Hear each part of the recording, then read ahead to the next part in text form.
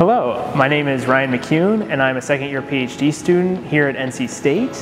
I'm studying in the College of Engineering as a civil engineering with a concentration in coastal engineering and I'm doing work with Dr. Katherine Anarde as part of the Sunny Day Flooding Project.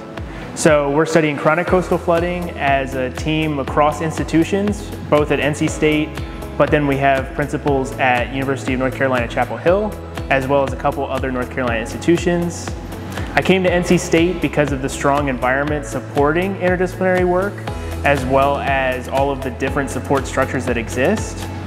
One of those is the University Fellowships Office, and I had the wonderful opportunity to be awarded a National Defense Science and Engineering Graduate Fellowship for this year 2024. I'm very excited uh, for that chance and the support systems at the university really helped me to craft my application and follow through with that opportunity.